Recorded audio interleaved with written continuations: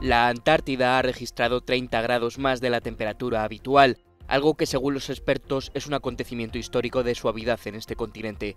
La base de investigación Concordia ha alcanzado un récord este viernes de menos 11,5 grados. Todo esto ocurre además en un mes de marzo en el que las temperaturas deberían haber bajado debido a que acaba el verano austral.